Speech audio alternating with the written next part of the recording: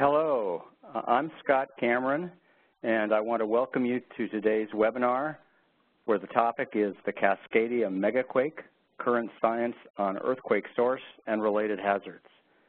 Now this is the first in a three-part series that Beazer will host on the Cascadia Megaquake. Our speakers for today are Dr. Kelin Wang of the Geological Survey of Canada and Dr. Joan Gomberg of the U.S. Geological Survey and University of Washington. This webinar series addresses a key question. Is the West Coast ready for a 9.0 magnitude earthquake followed by a large tsunami? Data collected over the last 30 years show that multiple giant earthquakes and associated local tsunamis have struck the Pacific Northwest for at least the past 10,000 years. The 800-mile Cascadia subduction zone, which extends from northern California along Washington, Oregon, to southern British Columbia is the main source of these earthquakes and accompanying tsunamis. This three-part webinar series will look at the science and engineering associated with the earthquake source, the hazards, current strategies to mitigate loss of life, and the emerging opportunities in early warning and reducing uncertainty. Now, we have a few housekeeping items before we get started. First, the audio for today's event will be streamed through your computer speakers.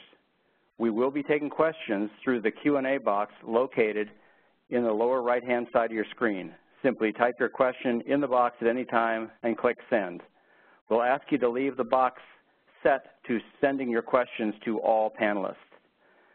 Second, this webinar is being recorded.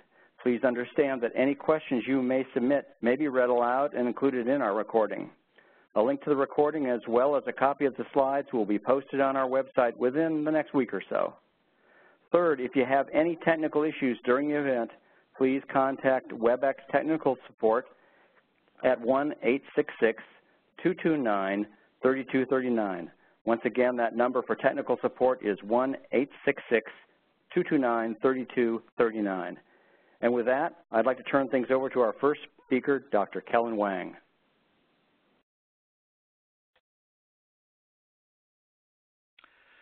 Thank you, Scott. Uh, thank you, everyone, for attending the webinar. I will start the webinar series by uh, discussing some of the scientific issues. And Dr. Gomberg, after me, will address uh, some of the, uh, the, hazard implications. The Cascadia subduction zone uh, is where the, the oceanic plate, Juan de Fuca plate, is subducting beneath the continental North America plate. And uh, uh, here, uh, the subduction zone produces different types of earthquakes. It produces earthquakes in the overriding plate, and like uh, in 1946 on Vancouver Island. It also produces earth earthquakes in the downgoing plate, like more recently uh, uh, the Nisqually earthquake, which caused a lot of damage in the Seattle area. But in this webinar series, what we will address will be uh, the largest type of all these earthquakes. That is the, uh, the event that occurs uh, along the interface between the two plates. A lot of research uh, has been conducted on the Cascadia subduction zone and its big earthquakes over the past few decades. And I will summarize what we have learned and we, we, we have learned uh, a lot, but I, I like to uh, uh, mention that we, what we know are the main four things here. Uh, one is Cascadia margin is a very typical place for uh, producing giant earthquakes. There's no surprise. It has all the components.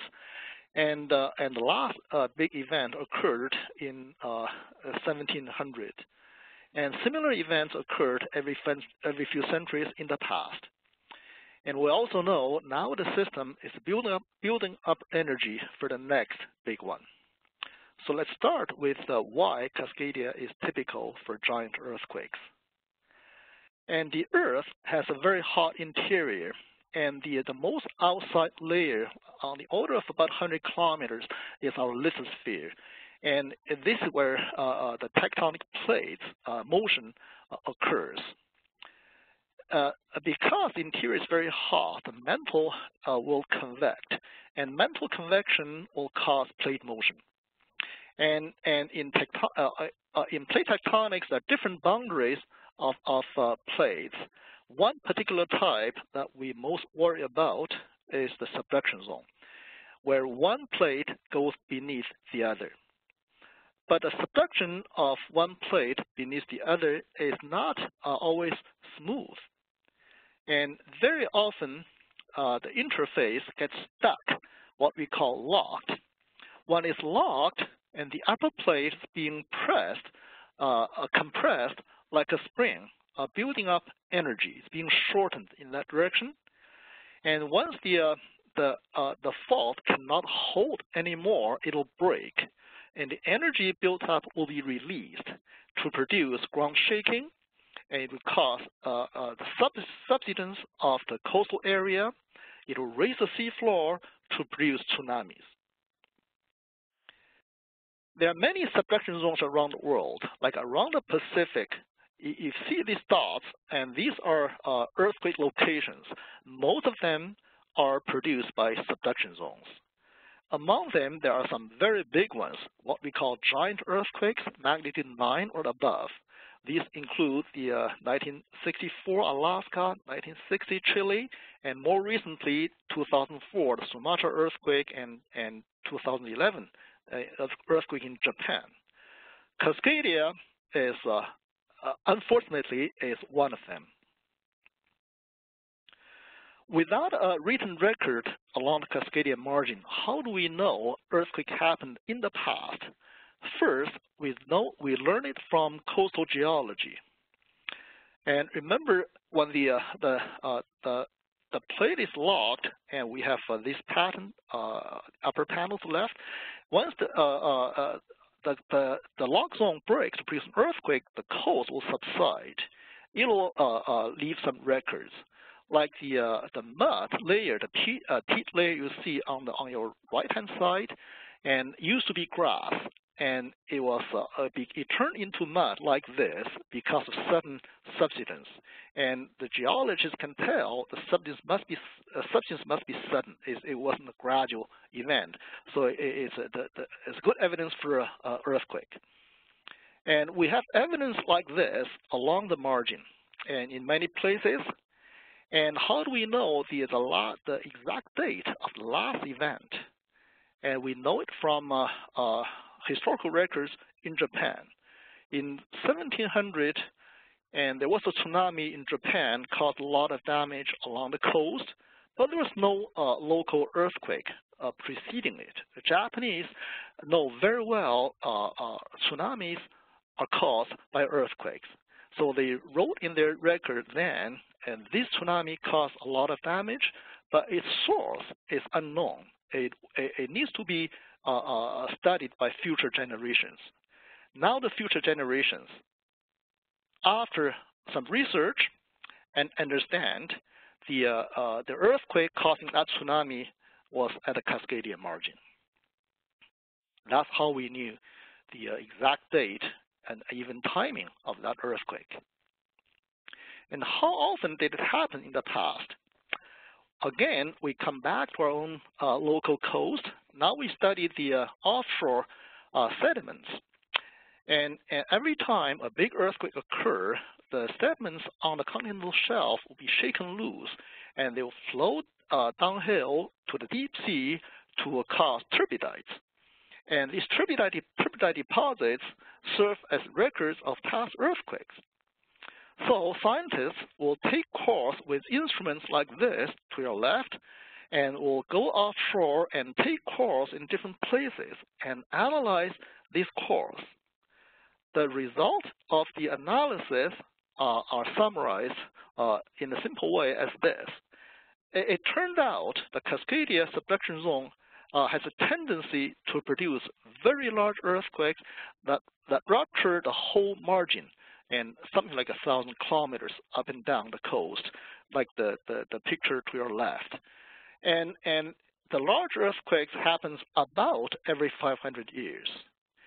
There were also other types of uh, smaller events. In particular, there's a proposal that uh, more uh, uh but smaller events would occur uh, in the south of, uh, or of California.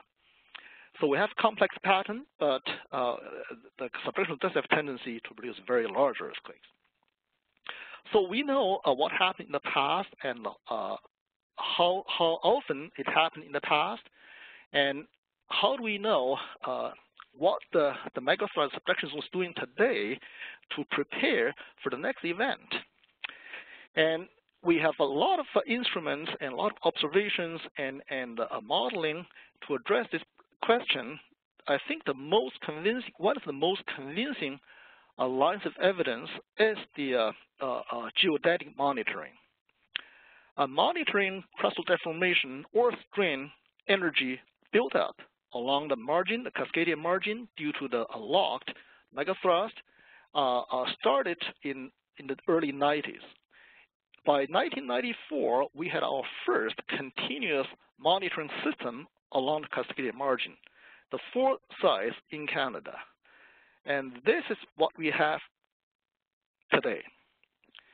And, and in, in addition to all these uh, uh, uh, uh GPS stations, we also have a numerous uh, temporary GPS sites and numerous seismic stations that provide uh, good information.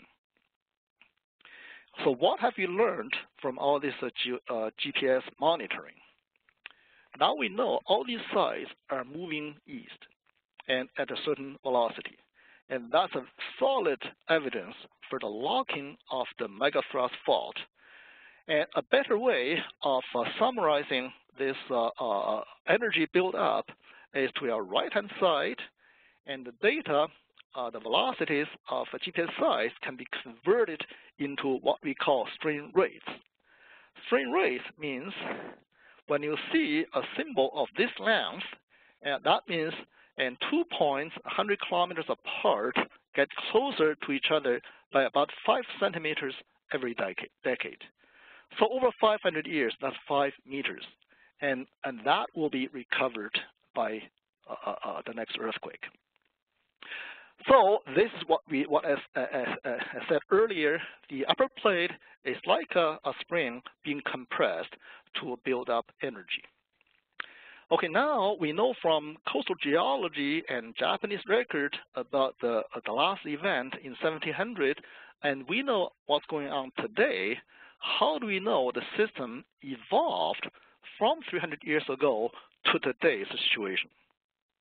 To understand this, we look around the world and to learn from other subduction zones that produce giant earthquakes.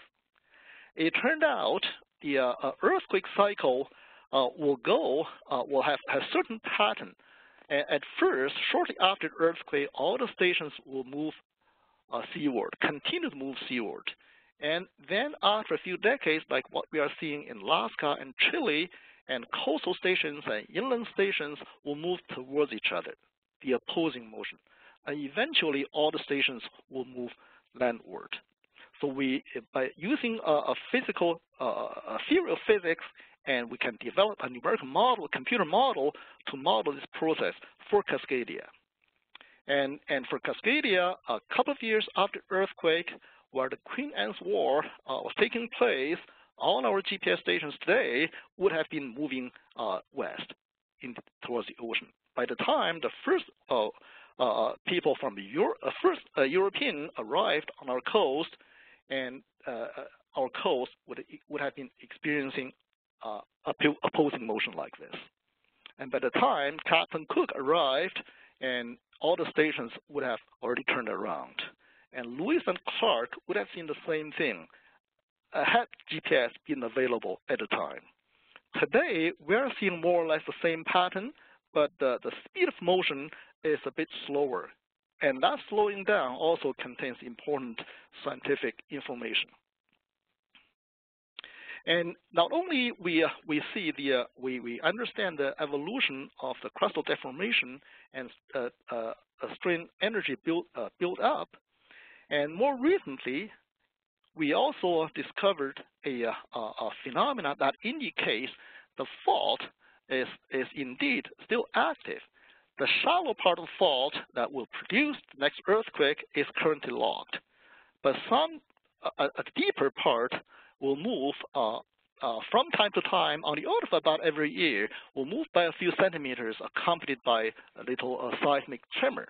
They serve as a reminder that the, the fault is active. It's not is sleeping, but it's still getting ready for, for a big event. So let's uh, uh, also further discuss what we uh, do not yet know, but we really hope to know. And, and, a lot of things are still being studied. There's many questions to be answered, but I like to highlight and three what I consider the most important ones. The first is what we know the, uh, the Cascadia fault is locked and building energy, but we don't know to to what degree exactly, whether it's 100% locked or is partially locked, and that's something quite important in terms of hazard implication. And also, we really want to know, will the rupture breach the seafloor? That's an important question in terms of tsunami generation. We also uh, would like to know, and how does seismic behavior vary along the Cascadia margin? That's also important in terms of hazard and risk uh, uh, assessment. Okay, the first question, and to what degree is megathrust locked? And from the GPS data uh, I showed earlier, now you see to our left, and we can construct uh, models of megathrust locking. And so if you see red here to your left, and the fault is fully locked. From the same data, we can build models, uh, uh, two models like this, that, that look quite different. They both show some locking, but the degree of locking is very different. And the reason is uh, uh, land-based observations do not have uh, provide enough information for the far offshore area. But currently, our assumption is more for the uh, shallow and full, shallow and narrow lock zone as fully locked. And the reason is uh, uh, the temperature for these subductions is quite high, and it tends to confine rupture to a shallow area. And the other reason is the, uh, the fault is quite uh, quiet. That means it, it does not produce a, a, lot of small earthquakes. Only a few of them are off Oregon are confirmed uh, this earthquake to, to, to, have happened on the megathrust. They are magnitude 3 or, or a, a, little larger. And normally, if the fault is creeping, not fully locked, we expect some small earthquakes the lack of earthquakes along the margin, most of the margin leads us to assume that fault is fully locked. But either it's a narrow uh, or, or, fully locked, and these are assumptions. These are good assumptions based on what we understand about the physics of the of the matter. But uh, uh, but we still do not uh, uh, have the final answer until we truly observe the locking state. So how do we get a true answer? We have to go offshore we have to uh, conduct offshore monitoring. The next question is, uh, will the rupture reach the seafloor? And the megathrust earthquake can produce tsunamis in different ways. It can produce tsunami without breaching the seafloor, or it can, can produce tsunami by diverting rupture to another fault called splay fault, and but what what really surprised me was what happened in Japan in 2011. The rupture went all the way to the trench, and the sloping seafloor, the motion of the sloping seafloor, caused a devastating, devastating tsunami shown to your right. And so that raises an important question. Will, will Cascadia behave the same way? And we are busy uh, investigating this issue. Cascadia is different. We have a lot of sediment offshore, different from Japan. So there's a possibility that other faults can be involved. That's still part of the question and to be uh, studied. The last question we really uh, uh we, uh, hope to have answer for is how does uh, seismic behavior vary along Cascadia? What you see is the latest model for the rupture uh, scenario of the 1700 earthquake. We have these patches and uh, constrained by microfossil uh, studies uh, along the coast. And it, it's a good question whether this, uh, the pattern is, is random with time. Every earthquake will behave somewhat differently, or the, uh, the high slip, low slip zones are controlled by geology. That means they will be persistent in different earthquakes. And we are trying to answer this question, uh, but it's, it's interesting to see some intriguing correlations with other processes, such as the, uh, the ETS behavior, episodic uh, uh, tremor and slip I mentioned earlier. They seem to have a long thread variation, and the, uh, the segmentation of ETS seems to have some correlation with the rupture, rupture pattern. And also there's some correlation with the uh, uh, assumed subducting seamounts and correlation with rupture lengths uh, derived from offshore turbidites. So in summary, what we have learned uh, uh, is Cascadia is a very typical place for giant earthquakes. The last one, magnitude 9, occurred in 1700, and similar events occurred every few hundred years, a few hundred, uh, every a few hundred years in the past, and we know uh, for sure now the locked fault is building up energy for the next big one. And what we do not know, but are still investigating, are is to what degree the fault is locked, and will the rupture breach the seafloor, and how does seismic behavior vary along Cascadia? Thank you.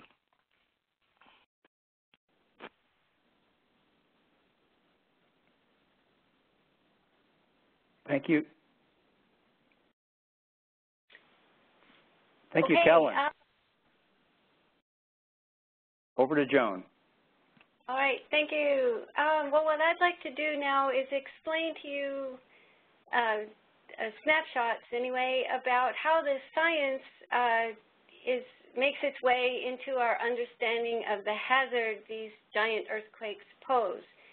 In addition, these earthquakes initiate a cascade of other phenomena which in themselves are also hazardous. And those are illustrated here, other earthquakes, landslides, volcanic eruptions, and again, tsunamis. And I'd like, I'm going to illustrate some examples of these and highlight some of the uh, open questions that we have about the hazard.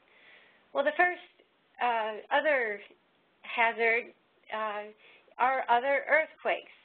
We need to understand these both because while we're waiting for the big, this giant earthquake, these are going to happen on their own, and they will comprise the aftershock sequence uh, following a giant earthquake.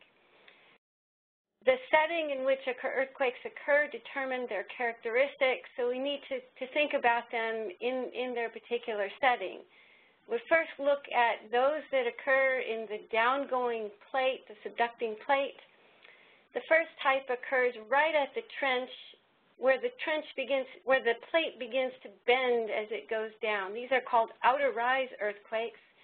We know from place earthquakes elsewhere that these can be very large, and because they're so shallow, they're very effective at generating tsunamis. We know almost nothing about these in Cascadia, and they're basically just ignored in hazard assessments. We also get small earthquakes within the downgoing plate at shallow depths, but these tend not to be very large and nobody lives nearby, so we also really don't pay much attention to these from the perspective of hazard. And finally, as Kelin mentioned, we have earthquakes deep in the downgoing plate. These are the most common earthquakes in Cascadia, you can pretty much expect that in your lifetime, at least if you live in the Puget Sound region, you will experience one of these events, about an 84% chance of a magnitude 6.5 or greater in 50 years. Because these are beneath the populated areas, these can be damaging, um, but their, their depth puts them at some distance relative to a shallow event, and they tend not to generate very many aftershocks for some unknown reason. We also think about earthquakes in the overriding plate. Those are shown here. Those tend to be smaller than, than the megathrust events, but locally can be more hazardous because they're closer, they're shallow. Each of these faults individually tends only to make an earthquake every, on time scales of thousands of years, but there are many faults.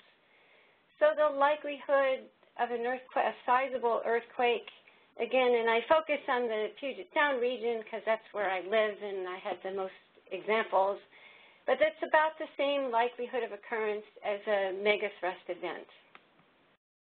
And finally, the, the great earthquakes themselves, and as Kelin mentioned, these occur roughly every 500 years. And one of the things that's enigmatic about Cascadia is that other than these giant earthquakes, the plate interface does not make smaller earthquakes. And this is pretty unique to Cascadia. Well, one of the questions we need to address to assess the long-term hazard is how often these events occur. Kelin touched on this. The evidence for this comes from two principal sources. One gathered offshore, uh, on, I'm sorry, onshore is shown on the left from coastal evidence of uplift and subsidence, and as well as tsunami deposits. Uh, that gives a pretty consistent estimate of about a 500-year recurrence time uh, throughout all of Cascadia. If we look to the offshore record that Kelin mentioned, the turbidite record that's shown on the right, and as he mentioned, what we find is that it appears that earthquakes, these interface earthquakes occur more frequently in the south. Well, reconciling this difference is really important from a hazard perspective. The difference between these two models, if you like, or pictures in southern Cascadia is a shaking hazard that differs by about 40%. So if you're doing, uh, in terms of cons mitigating construction costs, that is very significant, and this is something that we're actively working on trying to understand. Another thing that, that we need to understand when considering the hazard is the shaking. It's the seismic waves or the shaking that does most of the damage. Uh, this is shown on the left here is a hypothetical distribution of fault motion during a great earthquake. Uh, what we think, the way that we think about this now, and this has really been learned in the last decade or so from earthquakes elsewhere, but we can think of it as a superposition of multiple earthquakes. We have one large earthquake that spans the entire fault zone with very large amounts of slip at shallow depths. Superposed on that are smaller earthquakes shown by the rectangles, which slip less. But it's the rate of slip that determines, to a large extent, the shaking. So if we look at the large scale large amplitude slip, that occurs relatively slowly. It's good at generating tsunamis, but radiates shaking waves that oscillate too slowly to be very damaging to most structures. However, these smaller patches, which slip less, but they slip more rapidly, and those are what seem to radiate the rapid oscillations or high frequencies that buildings are sensitive to. Shown in these seismograms are records of ground shaking are what, what is predicted for these two types of earthquakes. The red are from just slip on the, the entire fault uh, in two directions, the vertical on the south, in, on the bottom, and the horizontal motion on the top. And then when you add the slip, slippage from the smaller added events, which rate flip faster, you get the, the result on the right. And what you, it's this rapid motion that you can see in it that is what buildings are sensitive to and does the damage. Finally, the other thing that is important in understanding the shaking is the rocks beneath our feet. This is kind of a, an image of the subsurface beneath the Seattle area, sort of an ultrasound uh, showing the structure of the, the rock, the really hard rock. And this is not a, this is where it's uh, shallower as from red to deeper is purple in the middle. So this is a big basin that is filled with softer sediments. Um, and that basically acts like a giant bowl of jello that shakes harder uh, where the jello is. And to illustrate that, an experiment was done a number of years ago. These are, again, recordings of the ground shaking. This is from an explosion at different locations. All the locations in the lower half of the figure, and this is in two different horizontal directions, those locations in the outside the basin are shown in the lower half of the figure. Locations above the basin are shown at the top, and what you can clearly see is that the effect of those sediments is to prolong the shaking and amplify it. So a very significant effect in terms of the potential to do damage.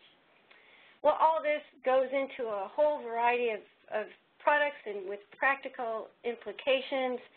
Building codes is shown on the, the left.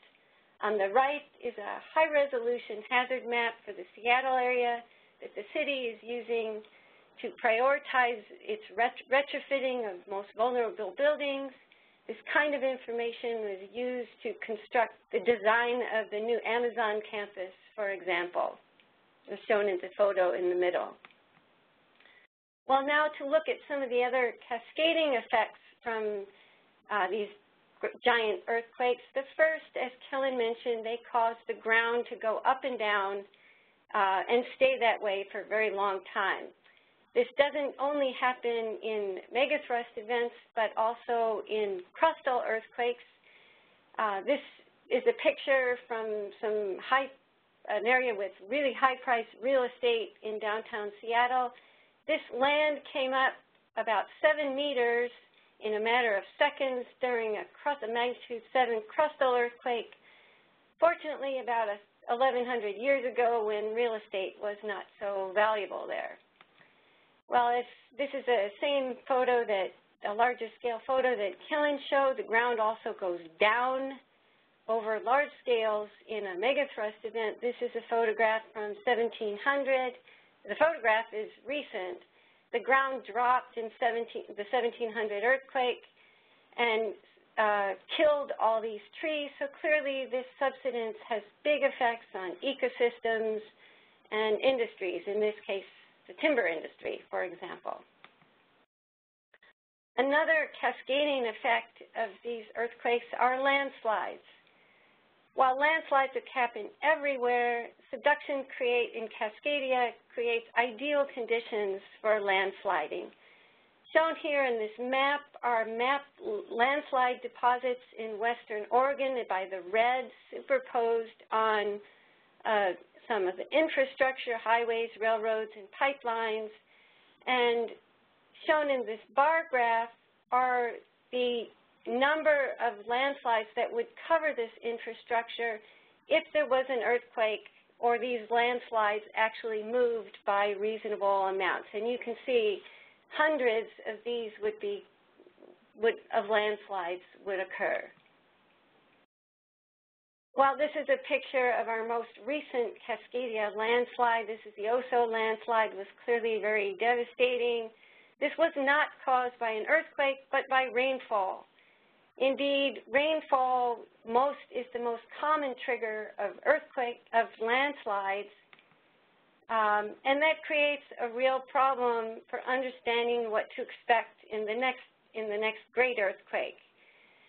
It's maybe surprising to realize that while we expect uh, lots of landslides in the next giant earthquake, to date no landslide has definitively been attributed to the 1700 earthquake.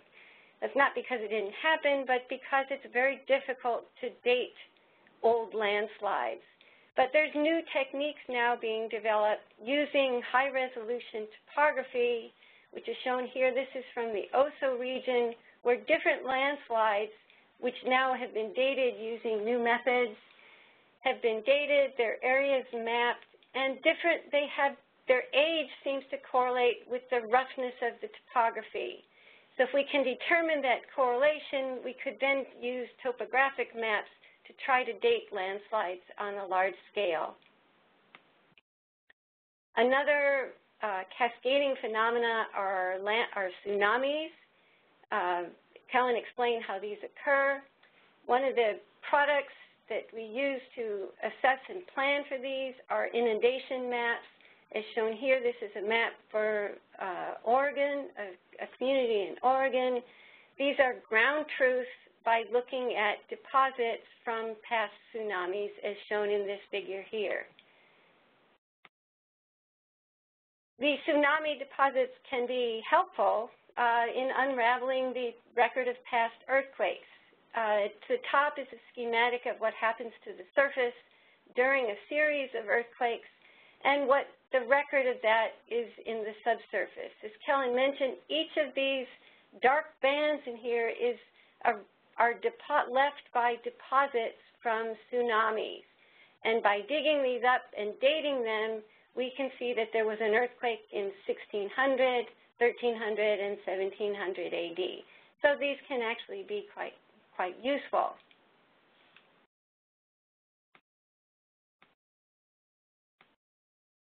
Well, another product that we're, we're now that are now possible on, on a local scale. This is a, a long-term hazard map, or shown as wave heights for the community of Seaside, Oregon. Uh, while this has high resolution, there's some key elements that are missing. This only accounts for tsunamis generated by a megathrust earthquake. One of the things that Kelin mentioned that's missing is the potential for these earthquakes to travel on what we call a splay fault or a secondary fault.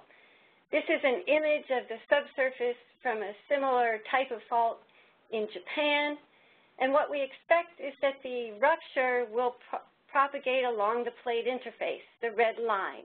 But what happens instead sometimes is it travels up this secondary or splay faults. And because those are more steep, they're more effective at generating a tsunami. We know these occur in, in Cascadia. We don't know much about them, how likely they are to rupture in a giant earthquake. Another, uh, this is an example of a double cascade in which shaking unleashes a landslide, which in turn triggers a tsunami.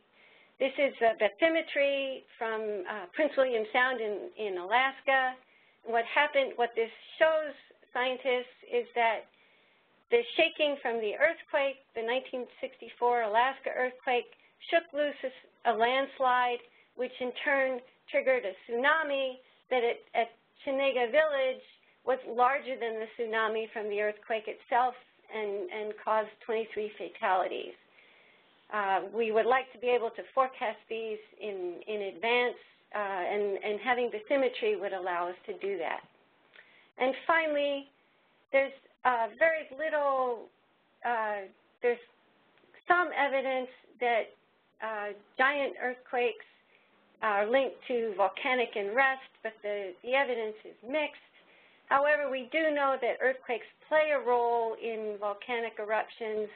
This is an example from Cascadia, the most recent Mount St. Helens eruption in 1980. Uh, the, the volcano was ripe for an eruption, but it was a local magnitude 5.1 earthquake that basically uncapped uh, the volcano that allowed all the pressure to be released and initiated the, the eruption. The eruption. So there is a, certainly a link between, uh, in this case, a local earthquake and an eruption. And with that, I'll stop and, and open it up for questions. Thank you. Uh, th uh, thanks, thanks to Joan and to Kelin for great talks. Really appreciate it. Uh, I'm, we're putting up a slide here that gives instructions about how uh, you can put your Q and A's into the into the queue here. Uh, and uh, we have a few that have been submitted so far. I'm going to start out though with one of my own, and uh, I guess that's the moderator's prerogative. Um, both of you have, and this is going to go to both of you. Both of you have identified some uh, major uncertainties that still remain about the uh, Cascadia megaquake and, and identified some gaps in our scientific understanding. What, but what could we do in terms of critical re research activities uh, that would, would, enable us to close those gaps and hopefully definitively answer the question or critically reduce the uncertainty? And over to you first, Kelin, and then to Joan. Same question. Yeah, uh, a lot of the questions uh, that, that uh, yet to be answered uh, have to do with the uh, observations from both sides of the rupture. And, and at, for now, uh, almost all our observation, observations are from the land side. We have seismometers, GPS stations, a lot of surveys. We know active faults. And uh, uh, in comparison, the offshore survey is very limited. Like the first uh, uh, unknown I mentioned is the, uh, the, the, degree of locking. It's such important, basic question. And, and the reason we don't, we are not that sure about the degree of locking is because we do not have observations near the fault, which is offshore. So I think these uh, uh, uh the offshore improving offshore, offshore, observations will be probably uh, uh, uh, one of the most important steps. this is I basically I, I agree with with Kelin that our, our biggest source of unknowns uh, and our biggest frontier, if you like, the place we're likely to learn the most, that will make the most difference is in the offshore. Um, in addition to the monitoring, things like what we've learned in, in some of the examples I showed, things like high-resolution bathymetry and imagery uh, can tell us a lot about um, these processes like landsliding and splay faults and so forth. So the the offshore, I think, is really the frontier where we need to, to where we're going to learn the most and that will make the most difference.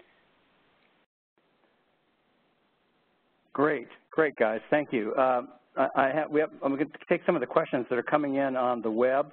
Uh, we have a couple that relate to, to issues of subsidence associated with a megaquake.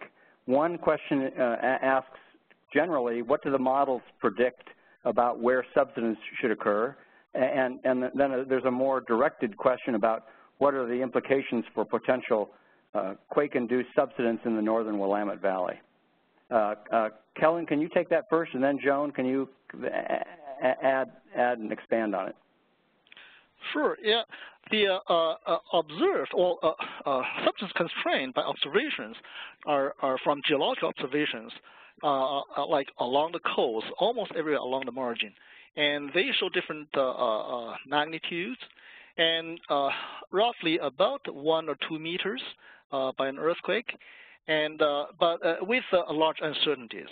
So based on these observations and also comparison with uh, uh, earthquakes in other places, we can construct a model and that can and can fill the gaps where we where, where we do not have observations, right? So we basically uh, see a pattern of subsidence along the coast, and uh, and but the uh, the amount of sub, uh, subsidence uh, can vary, and and and it depends on uh, how far the rupture goes uh, towards land. If it's mostly uh, way offshore, it's, the, uh, it's like smaller subsidence, and if it's, uh, uh, it goes really over very deep, you even see uplift. So it, it, it is a complex question. Uh, we do have some models, and but we still need to improve models to minimize the uncertainties. And I don't really have uh, much to add to that, nor can I really answer the question specifically about Will, the Willamette Valley. Sorry. Okay. Well, well thanks for that. Thanks for uh, taking that question. We have a question from another uh, uh listener who's asking about potential linkages between uh, a megaquake on the Cascadia subduction zone and uh, potential ruptures related to it that might occur on the San Andreas fault system. Uh, again, I'll let you both take that one, Kelin first, and then then Joan. Yeah, I think there there was uh, some interesting study uh, by by uh, Chris Goldfinger and colleagues, and to uh, uh, to link the earthquakes on the Cascadia margin and San Andreas, and and and in theory, we would expect uh, some kind of uh, uh, uh uh, linkage because stress. When you have an earthquake and the stress in, in the lithosphere crust is perturbed, you tend to influence the neighboring area, and and and in some cases, and the, the fault in, in the neighborhood will be also put to a state close to failure, even to failure. And but the uh, uh, Uh, uh, uh, fundamentally, uh, this question is is still a question of observations, right? You can produce models to uh, to show there's some effect, and but the, uh, effect is, is uh, the stress perturbation is not that large because of the configuration of the two uh, margins or two uh, uh, faults. And but but if we have strong good observations, we can better constrain the problem. I think what what Chris and his colleagues and were doing uh, I think that uh, some some uh, research are worth to be pursued. Yeah, okay. I'll, I'll, just add that um, we know that while the the, the calculated effects are, are relatively small, we we also know observationally that these small effects can uh, trigger, if you like, earthquakes at, at considerable distances. So it's certainly a question uh, worth asking, uh, and, and we, we can't definitively, we certainly can't rule it out, and it's, it's, a, it's a reasonable, plausible uh, scenario. Okay. I have a, I have a question uh, now uh, for, for Joan. Joan, you talked a little bit about tsunamis. Uh, how can the height of potential tsunamis be estimated? How, how what, what goes into the into the uh, the estimates that go into inundation maps and, and uh, tsunami forecasts, particularly for Cascadia? Uh, principal, what, what has a big effect on these is the bathymetry or the topography of the seafloor, uh, particularly the local, uh, at, the, at the local scale. Um, that's that's one for in, in terms of modeling it, and the, the models are now quite sophisticated if you have uh, good good bathymetry and, and topography. Um, the the unknown and and then those those models are ground truth, if you like, as as in the figure, by going out and actually looking for deposits from past tsunamis did the ground, did the water actually reach as high as, as the model suggests? Um,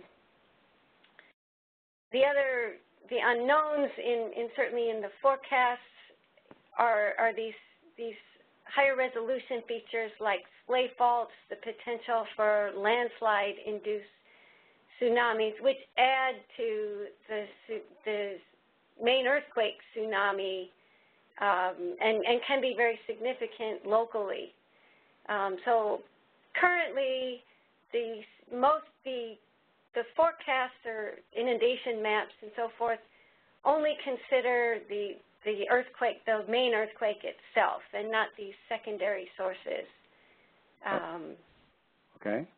Yeah, can I add uh, something? Sure. Too? Yeah, yeah. Uh, what uh, Dr. Jones, uh, Dr. Uh, uh, Gomberg said is, is, quite right. But what I like to add is uh, there's a difference between tsunamis gen generated by earthquakes elsewhere and or tsunamis generated locally by the Cascadia earthquake. And and for earthquakes that or generated elsewhere like Alaska, Japan, and when by the wave comes here, and, and uh, what's important for, uh, for uh, uh modeling the, uh, the inundation and what we need to know is mainly the size of the earthquake on the other side of the ocean. For local Cascadia uh, earthquake, and, and it's really important to understand uh, uh, uh, the details of the earthquake source, the rupture, how rupture distri distributed along the fault, and mostly in the shallow part or deep part, how it varies along strike, and how it tapers in different directions. And all these are uh, source questions are extremely important for designing uh, local uh, tsunami models. And unfortunately, we we have not observed a earthquake on our own margin. So what we have done is to learn from other margins and to uh, use the experience, uh, applied experience to our own places, and we use our best knowledge to construct these source, source models. And, the, uh, and, and these models are based on good assumptions, but with more observations, these models will be improved, will change. Great. Thanks, thanks for that. Uh, here, here, here's a question. Um, just to get to probabilities, I, I, I, I heard several references to probabilities for some of the smaller quakes that uh, occur, like the Nisqually type quakes. But what what should the public be thinking in, of in terms of the probability in the next 50 years for a Cascadia megaquake? And I guess I'd turn that to Joan first and then to Kelin. Well, the the estimates, uh, the official estimates, those that go into say the the seismic hazard maps, um, is about a 10 to 14, 10 to 15 percent chance in 50 years um, of a of, mag, of a a high eight to nine type magnitude earthquake. Wow. Okay. Well, I I don't, I don't have uh, much to add. Uh, it is uh, a little bit beyond my own expertise, so I think what uh, what John just said sounds reasonable. Okay. Okay. What um, cl clearly um, one of the things that we've heard a lot about, particularly from researchers in California, is progress on early warning technologies. What's what's going on? What are the opportunities for early warning technologies relative to a, a, a Cascadia megaquake? Maybe Kelin, can you take that one first? Uh, well, uh, maybe John can talk about the online part. So I'll add something about offshore. Okay. Is that, is that okay? Yep. Sure. So. Oh, do you want me to go first? I think you okay. go first, yeah, John. Yeah. Sorry. Uh, um, so there is now a West Coast early warning system which runs from Southern California, from border to border. Um, it is in, I'm not, I guess you would call it test phase, um, where there are some, it's not publicly available, but there are users who are trying it out. Um, this, again, covers the challenges. It, again, it, it, covers all of California and Cascadia. The, there's some challenges in Cascadia that, again, we don't have a lot of practice, but they're certainly trying to put it to the test as much as possible in that a lot of the earthquake activity and the ruptures will occur offshore where we don't have instrumentation. Um, there's also, we have a greater, than in California, relative to Cal, a greater complexity of earthquake types. So you need to be, in an early warning system, you need to be able to identify yes, this is indeed a great Cascadia earthquake and not a local event, a crustal earthquake, for example. And you need to do that really quickly. And there are a lot more choices here about what type of earthquake it might be. But those things are, again, they're, they're being worked on, and, and the system within the next couple of years, certainly, uh, the plan is that it will be publicly available. Yeah, uh, the what what uh, uh, I think uh, we we are making a lot of progress uh, on land uh, in building up a system like that, and and and we're also making some progress offshore. And we don't have a lot of facilities offshore. Currently, we have two cable systems, Neptune Canada and, and Ocean Observatories Initiative in the U.S. of Oregon, and they cover uh, uh, very small parts of the Cascadian margin. And by in early warning, if you want to warn against uh, damaging seismic waves, you want to detect the, the fast uh, uh tra uh, uh, traveling P wave and use these P waves to warn against more damaging surface waves. And and so you want to also you want to like John said what John said you want to distinguish between different types of earthquakes. So you have some near field observations offshore. It'll improve the detectability uh, tremendously. And uh, also, uh, the, we like to have some some warning uh, for tsunami, right? Of course, ground shaking would be the most direct warning for, for the ensuing tsunami, but we have some instrument, instrumentation and we have some more quant, uh, uh, quantitative uh, information, and that will be also be, be very valuable. So uh, we uh, uh, uh, there is a, a proposal to uh, try to develop system, monitoring system offshore, not only for scientific purpose, but also for warning purposes. But oh, we still have a long way to go. securing funding is is an important issue. Great. Thanks for that answer. Uh, we have several questions that are somewhat linked uh, about tsunamis and how related to a Cascadia event and to the 1700 event uh, and how far they might have gone.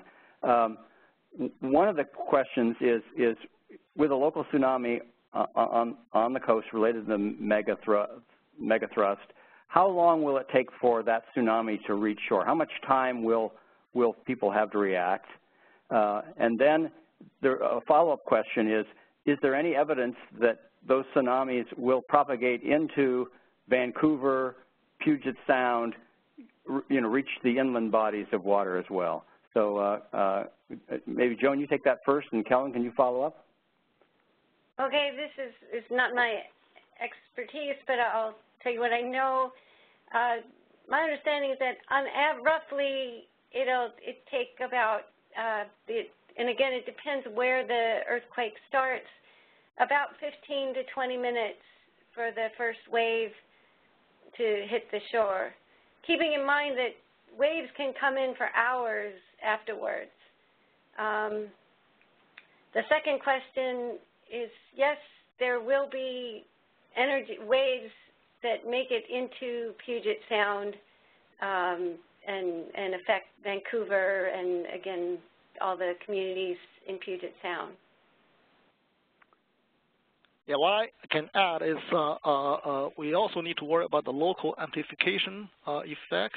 And, and, and if you look at your, your map and the distance from the what we call the deformation front, where basically the end, the, the downdip end of the, uh, the continental slope, and, and the distance from that to your coastline, that basically tells you uh, how much time you have. If it's really close, you have very little time. It can be short as short as 10 minutes. If it's uh, farther away, it can be 20 minutes. So on the order of 15, 20 minutes. And But it, it, uh, uh, tsunami waves can get uh, amplified uh, by local structure, local topography. And these require experts to model them in great detail and that's something and and we uh, we are we're uh, uh, missing a lot. So we we do need the detailed bathymetry and and and to model all these local effects amplification, like when a wave travels into a, a Puget Sound, uh, Puget Sound, and the energy is pretty small and and so we, we it's, not as as big as on the west coast, but still local uh, local uh, topography bathymetry can cause some amplification. So all these needs to be modeled. Another uh, just another quick uh, an aside to that is we we think of the primary the all the hazard from tsunamis as being the wave and inundation, but tsunamis also can set up very strong currents so as an example, the 2011 Tohoku earthquake in Japan did damage in the harbor at um, oh, offshore California, and I'm having a senior moment, the name of the community. At any rate, set up strong currents in the harbor, and those can be damaging. So it's not just the wave. Fortunately, those those kinds of things now, they're beginning to be able to model those and forecast where they might happen. Crescent City, thanks. Crescent Sorry. City, yeah. Thank you for that. Um, so uh, maybe one last question. You, you, mentioned the Japan earthquake and tsunami. What were the key, one or two key things that we learned from that that are changing how we, we view Cascadia? Both of you. well, maybe I'll go, I'll go first. I think the, fir the, fir uh, uh, the first, uh, the hardest lesson from Japan is uh, we we need to be ready for surprises. For for the longest time, and and with uh, Japanese uh, research and, and, monitoring, and we we developed the the recognition that the uh, Japan Trench subduction zone had a tendency to produce magnitude 8 or 8.5 earthquakes, and and but the, uh, the the the act what actually happened really surprised us. That means uh, uh, we still have a lot to learn. So that's the, the hardest lesson. And the other is uh, uh the way the rupture happened, happened in the shallow part of fault. That really surprises too. And as I mentioned in my in my talk, it raised a question for Cascadia. And if uh, if the water if the rupture occurs in the shallow part of fault in the deeper water, it can cause a, a greater tsunami. And so that's something uh, uh we, we, how it happened in that way with uh, like 50, 60 meters slip in the shallow part, it was was never uh, uh anticipated. So that was uh, something we learned, a hard lesson we learned. Well, I'll, I, will just add, since I guess this is the last question, and, and yes. end on a positive note is what we, we tend to focus on all the terrible things that happen.